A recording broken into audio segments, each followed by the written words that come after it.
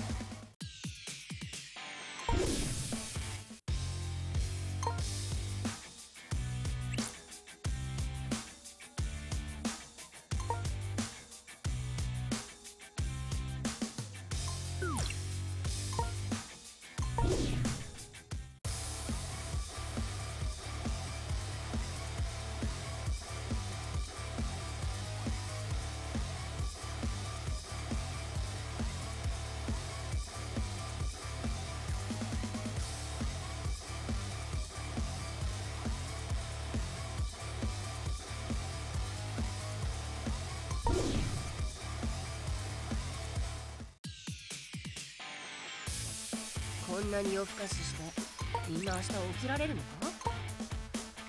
そうですね。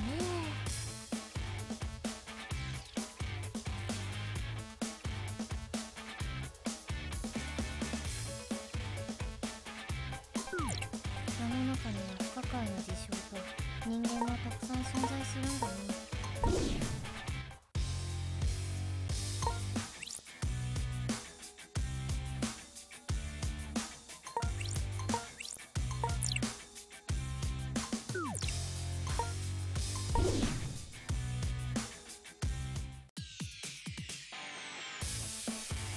わうなぎも眠るうちみつどっていうのよね。